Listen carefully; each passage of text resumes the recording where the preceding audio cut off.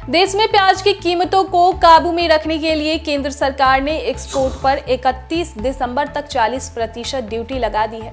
अभी तक इसके एक्सपोर्ट पर कोई टैक्स नहीं वसूला जाता था, लेकिन अब सरकार ने इस कदम से देश में प्याज की अवेबिलिटी को बनाए रखना चाहती है और इससे कीमतें भी नियंत्रण में रहेगी।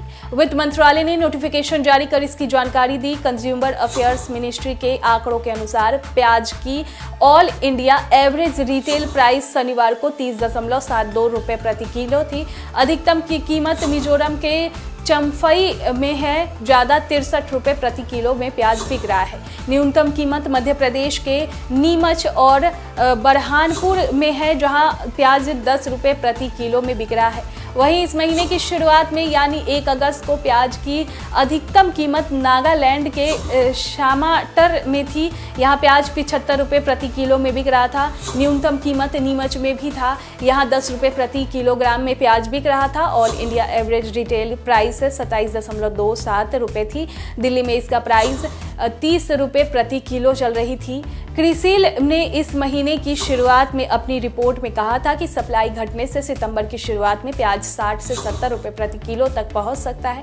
फरवरी में महाराष्ट्र जैसे प्रमुख उत्पादक राज्यों में रबी की फ़सल ज़्यादा पक गई। मई में इस इलाकों में बेमौसम बारिश से शेल्फ लाइफ छः महीने से घटकर चार से पाँच महीने रह गई। रिपोर्ट में कहा गया कि अक्टूबर से प्याज की फ़सल आनी शुरू हो जाएगी। इससे आपूर्ति बढ़ेगी और कीमतों में भी नरमी आएगी।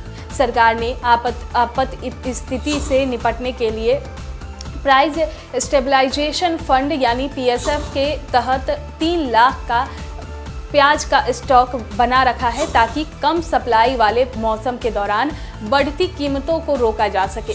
इसके अलावा सरकार प्याज को ई ऑक्शन ई कॉमर्स के साथ साथ राज्यों के साथ मिलकर कंज्यूमर कोऑपरेटिव रिटेल आउटलेट्स के ज़रिए मार्केट में उतार रही है। आपको बता दें कि साल 2021 में भारत ने 26.6 लाख मीट्रिक टन प्याज का उत्पादन किया था।